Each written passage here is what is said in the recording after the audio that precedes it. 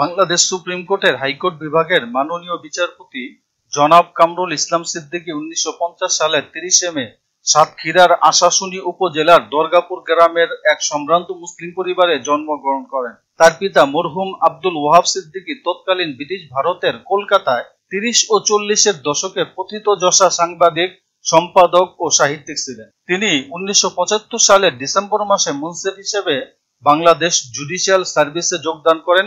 পরবর্তীতে সাব জজ, deputy secretary, high court বিভাগের ডেপুটি রেজিস্ট্রার, জেলা ও দায়রা জজ এবং হাইকোর্টের রেজিস্ট্রার হিসেবে দায়িত্ব পালন করেন। দুই সালের আঠাইশে আগস্ট হাইকোর্ট বিভাগের বিচারপতি হিসেবে নিয়োগ লাভ করেন।